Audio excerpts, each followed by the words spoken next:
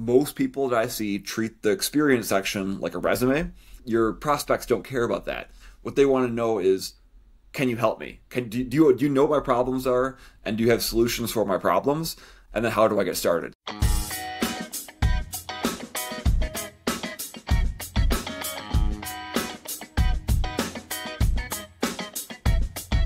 Hey, I am back with my friend and colleague James Roloff, who is a true pro in sales and social sales. James, welcome back. Hey, thanks for having me here. I always appreciate time with you again. Yeah, so you and I were talking the other day, and you and your wife and business partner have really, done great with LinkedIn marketing and the organic side. I know building personal brand, doing content there. I wonder if you could uh, share a bit about your approach there. I know you said uh, your profile itself is quite important, and then you guys are posting content what every day and doing all kinds of different stuff. So, just wanted to learn from you and share what you're doing. Yeah, yeah. So LinkedIn is great. I think it's got all sorts of reputations depending on where you're coming at it from. But at a basic level, what I typically tell people is to treat LinkedIn like a big networking event, right? Treat it like a big in person networking event that you go to there's all sorts of things that you can do at networking events, right? And you can lurk in the shadows and not talk to anybody, or you can go out and make some friends, or you can even potentially go up on stage and give a presentation and teach people at that networking event. There's different layers to what you're going to get out of it depending on how deep you make that engagement with the actual platform itself. That's my basic analogy that might be bad that I use across the board with people, but it is a great opportunity to make connections and we have clients that have unlocked a ridiculous amount of opportunity for their business by simply just getting active, putting out good content, and starting conversations. So I'll pause for a second there. Just a little monologue. Yeah. yeah, that's great. You had a great post about kind of the different types of content and things you could put in the feed. I wanted to look at that, but then you said it really starts with the profile and maybe we should say something too about your personal profile versus your company profile. But maybe we start there with personal versus company profile and then optimizing those. Yeah. So the company profile versus the personal profile is something that is going to be different depending on your role, right? So if you're a solopreneur or an entrepreneur, smaller business, it can be hard to figure out. And Egan, you probably test this. Hey, some thunder here in Madison. so you can probably test to this, but it can be hard. Do you invest your time building out your company profile or do you build out your personal profile? And if you're part of a larger organization, it's a moot point. Typically, your marketing team runs the company brand, the company profile on a more strategic level on a brand side of things. But personally, I try and tell people to invest the majority of their efforts on LinkedIn onto their personal profile because you're going to get a lot more reach and you're going to be able to have a lot more of a personal engagement with it. And really, the only thing you can't do on a personal profile that you can do on a company profile is do paid ads. And actually, now, just recently, LinkedIn rolled out some thought leadership ad campaigns, which actually allow you to then run ad campaigns by boosting personal posts. It helps solve that problem, that personal versus company profile side of things. Long story short, I would definitely say focus on your comp or your personal profile more so than your company profile. Yeah, that makes sense. Really, that personal brand piece, you can your connections see that stuff. LinkedIn and Microsoft, they're ready to charge you if you want to get your company yes. in front of people, but there's still a social media organic aspect of it for your personal profile. That's good. Should I pull up yours? Should I pull up Emma's? Is there an example we could look at and you could walk us through? Yeah, you can pull up my profile and see my pretty face. All right. Oh, I'll be on double on the screen here. This is really a treat. Let's see. All right, so I'm so, looking at yours. Yep. Yeah, so I'll say right off the bat that there's all sorts of philosophies when it comes to how to optimize a LinkedIn profile. So there's no like right or wrong answer here. And this is just my personal take on what a good profile uh, looks like. So the big thing I want people to understand is that your profile is your landing page for all of your LinkedIn activity. So as you are out there commenting, connecting with people, making posts, people are going to see your profile. They're going to go to it and it's from there that they're going to do something. And I know you're, I don't need to tell you this, Egan, um, but it's basically like an online landing page. And what you do with that landing page could make a major difference in terms of performance you get out of it. So making sure you have clear messages about what you do, who you do it for, and the impact you create. Making sure you have lots of clear call to actions is a big part of it. So again, just looking at my profile, I have a nice headshot. There's a headline text directly below my profile. This is where you should very clearly state what you do and who you do it for and the results you can get from people. Because this is the kind of stuff people see in the comment section. They see this on the news feed if you're making posts. So this is like your big advertisement that quickly, within five seconds, needs to tell people what to do. But as you scroll down the page, you should very quickly have call to actions. So if you have LinkedIn Premium, there's those custom buttons right there. It says Save in Sales. Up oh, too far, Egan. Sorry. Scroll up a little mm-hmm. bit towards the top still. It says view my blog. So my call to action there is view my blog because from there, that's my lead funnel. So I have a blog, people subscribe to it, then they're my email list. So that's one of the things I, I promote on mine. But you can do other things there. Contact us, view my website, other things too. Basically, you want to have some sort of call to action there. And if you have LinkedIn Premium, so Sales Navigator, LinkedIn's like other miscellaneous premium or uh, recruiting, you can add a custom button there. And then uh-huh. scrolling down, there's a section called the About section this is your opportunity to talk a little bit more about what you do. So, what you do, who you do it for, but also talk about your experience and your authority. Talking about your what you've done for past clients, how long you've been doing things, not making it all about you, but just showing people that you have some sort of expertise and some sort of credibility. So that's how I use that about section as well as have some call to actions in there too. So I talk about starting a conversation or joining my newsletter. So more opportunities there. Scroll down a little bit further. Another very misunder Uh, part of your profile is your featured section. So you can pin posts there the baseline side of things. So if you have good posts to talk about what you do or things you've done for your customers or super educational, they're great to have there. You can also add video there. You can have links, external links, so links to your website or your case studies or whatever it might be. So again, another spot to have a call to action because again, your profile is your landing page. So you want to make sure people understand what you do, who you do it for, the impact you create, and then plenty of call to actions. And the same thing plays through down to the experience section. Most people that I see treat the experience section like a resume. They have like action verbs about things they've accomplished at their job. I hit President's Club five five years in a row, right? But your prospects don't care about that. What they want to know is can you help me? Can do, do you do you know what my problems are and do you have solutions for my problems?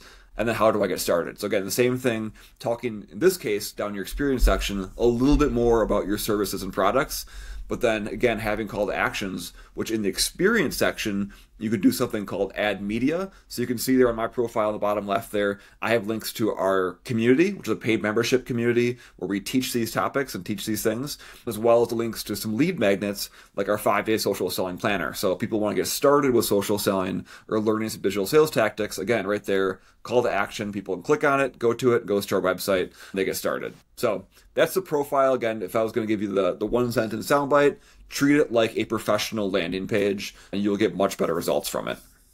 Love it. One thing uh, I, I, really appreciate here too is like you said it's not a resume. You're not saying what your job responsibilities were and also it's written to you. It's in second person. Time to digitally transform the way you sell. So even though it's about you and your experience at Roloff consulting it's really about them the reader and who, here's who this is for that alone I've, I, I would say 99% of people don't have how about what do you think Oh, for sure. Yeah, it's, it should be talking about the customer. Like I said, in the about section, I thread in some credibility about how long I've been doing things. I think I have two sentences in there. And then further down the page, I have recommendations, which everyone should seek to, which are basically testimonials that you can throw directly on your LinkedIn page. So there's spots to talk about your skills and what you've done for people. But really, with the landing page, you want people to quickly identify themselves as someone that might want to be a purchaser of your products or services. Love it. Yeah. And boy, you, oh yeah, here's the recommendations. Here you go. Are you asking people for those then or clients or how do you get these? Yeah, so you can ask for them. Either there's a button actually. You probably can't see it in my profile, but if you're on your own profile, mm-hmm. you could you ask for recommendations. You could type in their name, any first connections, and then it'll send them a request and they can fill it out. I could even be better at that. I only have a few, but I think it's you want to have a minimum of two or three in there just so it actually shows up.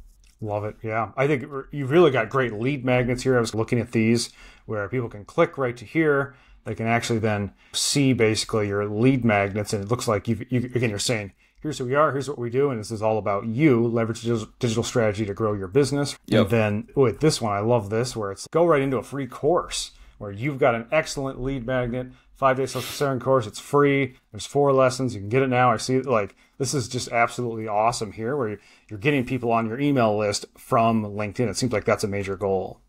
Yeah, absolutely. And a big part of our philosophy in general is about educating people. So we, we teach sales reps and marketing teams, and entrepreneurs how to build a sales funnel by being that favorite teacher, right? So we walk our walk here by actually putting out educational content as part of our sales funnel. And there's plenty of people that engage with us who are not qualified for our services, but they might refer people and it helps us build up our community of like actual audience and not just customers too. So it's a great approach. Love it. Love it. This is excellent. I'm, I'm tempted to have you look at mine and see what you think and see what you say. Are you up for it? Yeah, I'm down for that. All right. Do you want to pull it up and share, or should I pull it up? Why don't you pull it up so it actually looks correct on the screen? Okay. And maybe we can also see how we um, see it as other people too. I know there's a way to do that. So I'll share this. Yes. Here's me. So I'm seeing all this. I think there's a way to basically view as how do we do that? This profile. There's some way to view it the way other people oh. see it, oh. or you just go incognito, right? Yeah, they, they hard to do that for a while. Um, yeah, let's see. Maybe I'll pull it up actually. Now that you say okay, that, that way it is good. just we're just actually talking about the the real deal here. I'm looking at you. Yeah, what how what does someone else see? Yes. Like in SEO, we tell people do incognito or private browser search just to get a sense of what are other people seeing. Your results might be personalized. Same story here. Yes. And hopefully the screen looks okay. Yeah, yeah this looks great. Okay. Thank you. I appreciate Perfect. this. Yeah, so right off the bat, nice professional head picture or headshot. That's great this cover photo is a interesting topic because some people say you should ha- definitely have a branded company thing. I'm actually a big fan of what you did here too, of just having a more personal branded picture. So you can, in this case for you, it's State Street, Madison, Wisconsin, where we live. So I think that's totally appropriate and talks more about who you are as a person. Your headline is good. It's a digital marketing agency partner. You don't just have your title and your company. It doesn't just say CEO, right? Sometimes people want to have the fancy stuff up there. I think that's good. You could probably have another quick dash in a sentence about what you do or the results you get for people or your approach necessarily, but I think from a basic level, it's good.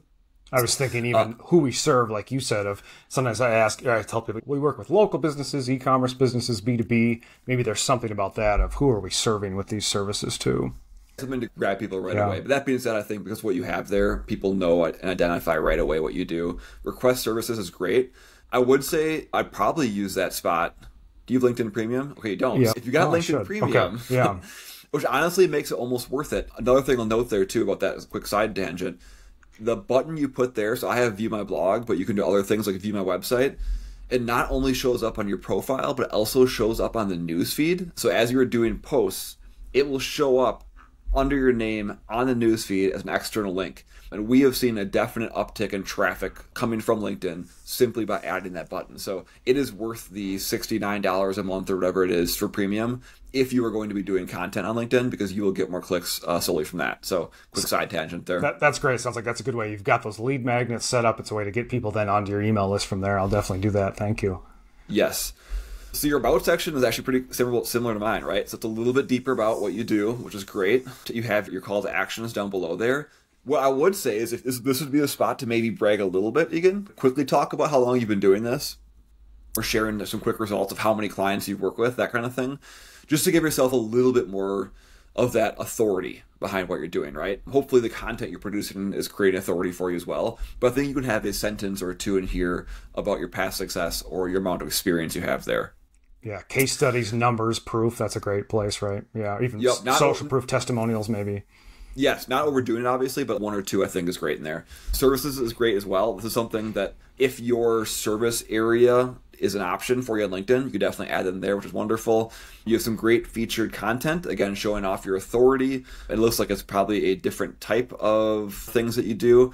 I would say if you don't have it, I'm looking, but you can have I would say throw in things like your website. So make it a mix of uh, featured items, some that are educational, some that show some authority, and some that are strictly lead generation, right? Websites or sending people the lead magnets that you have that are some sort of valuable resource that they can enter an email address and get. That'd be one thing I would say is maybe have some other options because depending on where somebody's at in their buying, buying journey, they might be ready to take a deeper step than simply look at past posts you did.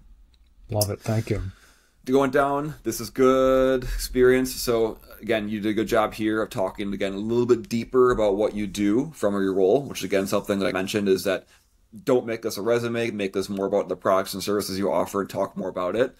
I will say right away, make sure you add media here, right? So down below, mm. you have the opportunity here to add more media, which is basically adding more featured items. But this is a great spot. Minimum everyone should add their company website because in order to get to your website from here, Egan, I have to go, I have to click on this, mm-hmm. I have to go to the about section, this I whole have to ordeal. go down to here, right? Yeah, so LinkedIn doesn't want you to go to their company website right away, mm-hmm. but if you have it right here on the media section, that's a very easy way to get to it. So baseline, I'd do your company website. But if you have other lead magnets or other valuable resources you can post there, you can add them there as media as well. Thanks. Yeah. What strikes me is I have a podcast with over 100 episodes that's going strong, and it's, you wouldn't even know that unless you read closely here. So that needs to be in there. Yeah, so that's another great thing too. This is where it gets tricky when you have so many different things. Which again, going back to that landing page philosophy, what do you want people to do? And that is something I've seen before, where people are actually like prolific entrepreneurs or content creators, and you go to their LinkedIn profile, but you actually don't even know where to go because they have so much stuff and they're talking about so many things. Where I think it does sometimes make sure it makes sense to optimize your profile for the actual conversion or action you want them to take. Is our thought process there. Love it. Thank you. Otherwise, you graduated with honors. So you're a smart dude, so that's great. You have education down there. Skills. So you have some skills here. I'd also try and get some more endorsements if you can for the main things. I know you're very good at this stuff. It looks like you already customized this. I'm guessing you probably have other skills that you have a lot more of. So that's one thing I'd note too, like SEO, exactly.